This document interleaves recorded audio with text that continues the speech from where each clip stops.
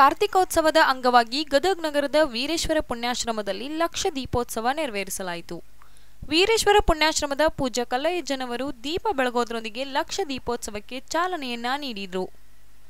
ದೀಪವನ್ನ ಬೆಳಗಿ ಭಕ್ತರು ಪುನೀತರಾದರು. ದೀಪಾಲಂಕಾರದಿಂದ ವೀರೇಶ್ವರ ಪುಣ್ಯಾಶ್ರಮ ಜಗಮಗಿಸಿತು.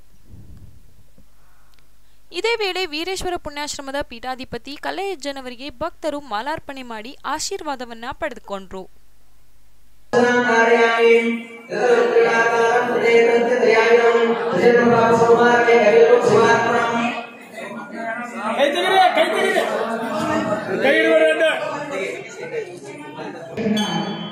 ಅಧ್ಯಕ್ಷರನ್ನು ಹಿಡಿದುಕೊಂಡು ಸರ್ವ ಸದಸ್ಯರು ಹಾಗೂ ಪತ್ರಿಕೆ ಮಾಧ್ಯಮದವರು ಟಿವಿ ಮಾಧ್ಯಮದವರು ಎಲ್ಲ ಇಲ್ಲಿ ಸೇರಿರುವ ಸಮಸ್ತ ಸರ್ವಧರ್ಮ ಸಮಸ್ತ ಭಕ್ತ ಬಂಧುಗಳಿಗೆ ನಿಮ್ಮೆಲ್ಲರ ಅಂತರಾತ್ಮದಿಂದ ಶರಣನ್ನು ಸಮರ್ಪಿಸಿ ಕಾರ್ತಿಕ ಉತ್ಸವ ಅಂತಂದರೆ ಅಜ್ಞಾನವನ್ನು ಹೊರಗೊಳಿಸಿ ಜ್ಞಾನವನ್ನು ಕೊಡುವಂತ ಕೆಲಸ ಅದು ಗುರು ಮಾಡ್ತಾನೆ. ಈ ಪಣಿತಿಯಲ್ಲಿ ಎಣ್ಣೆ ಹಾಕಿ, ಬತ್ತಿಯನ್ನು ಹಾಕಿ, ದೀಪವನ್ನು ಹಚ್ಚಿದರೆ ತನ್ನ ಮೈಯ ಸುತ್ತಿಕೊಂಡು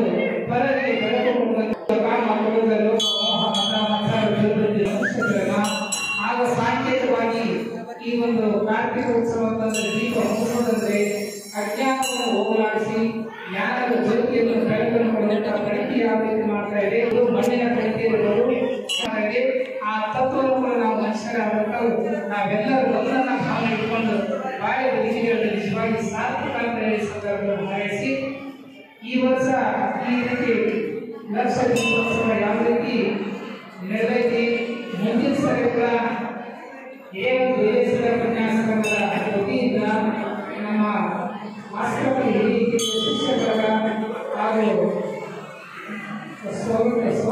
ಕಮಿಟಿ ವತಿಯಿಂದ ಎಲ್ಲ ವತಿಯಿಂದ ಕೂಡ ವಿಶೇಷವಾಗಿ ಮುಂದಿನ ಸರಿ ಕೂಡ ವಿಶೇಷವಾಗಿ ಈ ಕಾರ್ಯಕ್ರಮ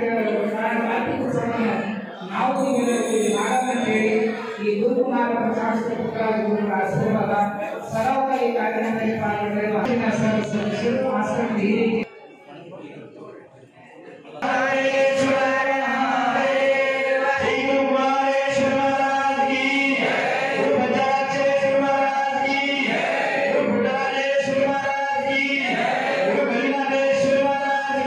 ಪ್ರೀತಿಯಿಂದ ಪ್ರೀತಿ ಹಂಚಿರೋ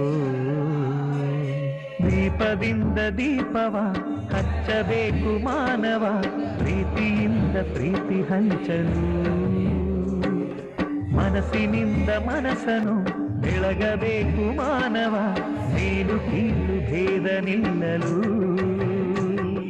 ಭೇದವಿಲ್ಲ ಬೆಂಕಿಗೆ, ದ್ವೇಷವಿಲ್ಲ ಬೆಳಕಿಗೆ, ನೀ ತಿಳಿಯೋ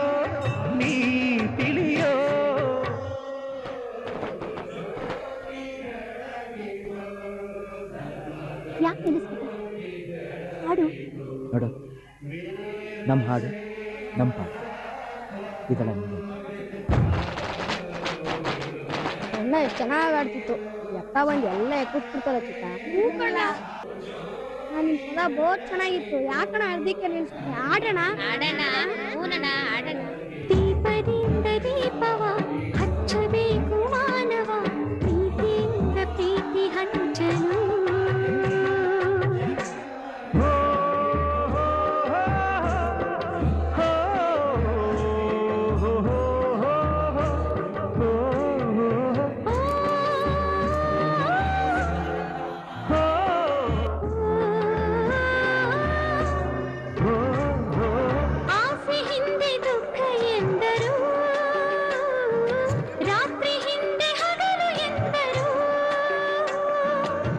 ದ್ವೇಷವೆಂದು ಹೊರೆ ಎಂದರು.